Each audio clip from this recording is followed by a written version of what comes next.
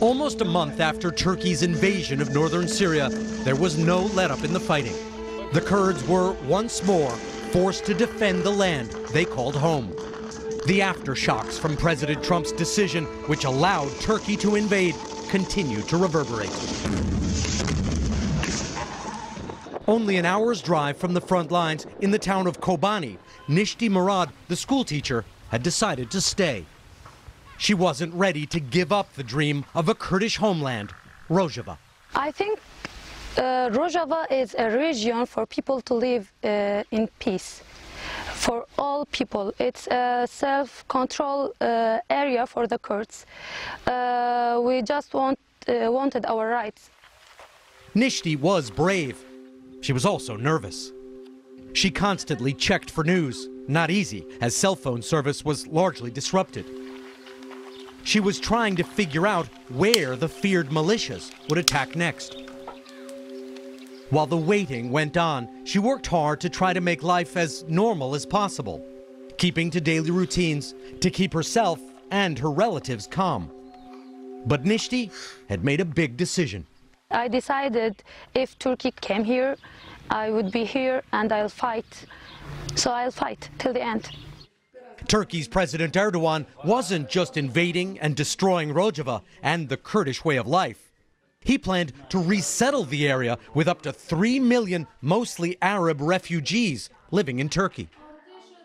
Turkish television showed mock ups of the new homes and schools contractors planned to build for the millions of new arrivals. The goal was to wipe out the Kurdish homeland in Syria before Kurds in Turkey started getting ideas. Turkey has 18 to 20 million ethnic Kurds as Turkish citizens. Uh, Erdogan is concerned that the Kurds in Turkey are going to want something similar to Rojava. So Erdogan wanted to mm, strangle the baby uh, in its cradle by destroying Rojava and preventing Turkey's Kurds from aspiring to the same. Despite all that, just this week, President Erdogan was honored with an invitation to the White House. Ethnic cleansing was not on the agenda.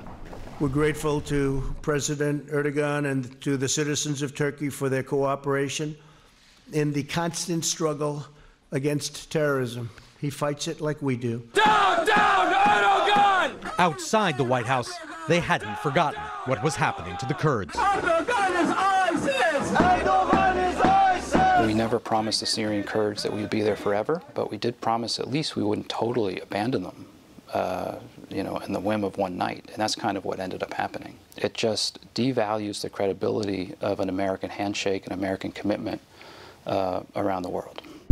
But leaving the Middle East, apparently no matter what the cost, had always been President Trump's one consistent message. We want to bring our troops back home. It's been many, many years, it's been decades in many cases. We want to bring our troops back home. And I got elected on that. It was always a reliable applause line. Bring our soldiers back home. Bring our soldiers back home. So it was all the more surprising when President Trump seemed to go back on that promise, too. He decided there was a good reason to keep American troops in Syria after all. It just wasn't to protect the Kurds. We want to bring our soldiers home, but we did leave soldiers because we're keeping the oil. I like oil. We're keeping the oil. President Trump became so interested in securing Syria's oil fields that he ordered more American troops and heavy weapons to go to Syria for the new mission. So American troops weren't coming home. These are small facilities. Our legal basis for being in Syria is ISIS, not to protect oil. So the mission is very unclear. President Trump tweeted in what seemed like an afterthought if the Kurds wanted protection, perhaps it is time for the Kurds to start heading to the oil region, a desert where no Kurds had ever lived.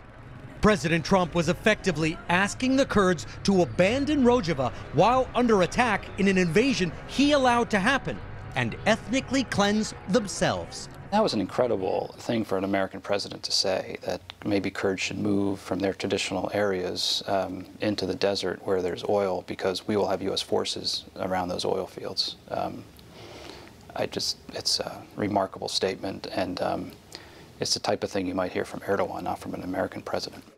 Nishti and her family were furious that President Trump seemed to value oil over allies. Donald Trump is not wise enough to lead America. I really bl blame the American people for choosing such a crazy person to lead the greatest uh, country in the world. And another country stood to benefit. In the confusion created by President Trump's zigzagging policy and abandonment of an ally, Russia moved in to fill the gap. Vladimir Putin saw a chance to make himself the new kingmaker in Syria and perhaps throughout the Middle East. It will now be Russia and Turkey and perhaps Iran who will make the decisions about what happens in, in that part of the world. And, and our ability to do that has been diminished. So too has America's reputation.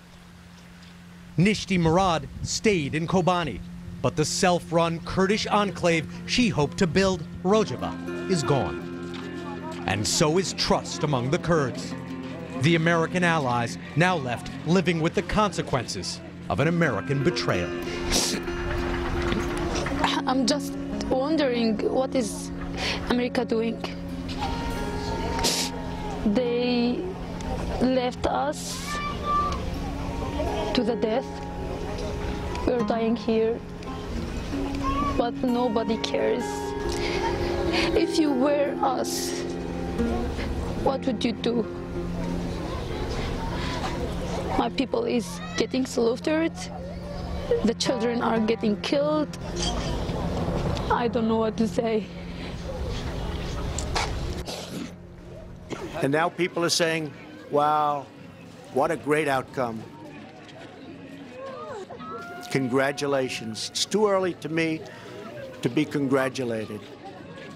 But we've done a good job. We've saved a lot of lives. Hey there, I'm Chris Hayes from MSNBC. Thanks for watching MSNBC on YouTube. If you want to keep up to date with the videos we're putting out, you can click subscribe just below me or click over on this list to see lots of other great videos.